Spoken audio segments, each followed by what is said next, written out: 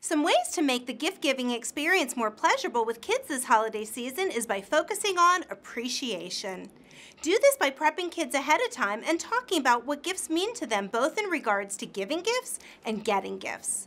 When you focus on giving, help kids identify the benefits of making gifts special to the receiver. The focus is on making other people feel good, making them feel important and special, surprising them, and maybe even showing off creativity if they make something.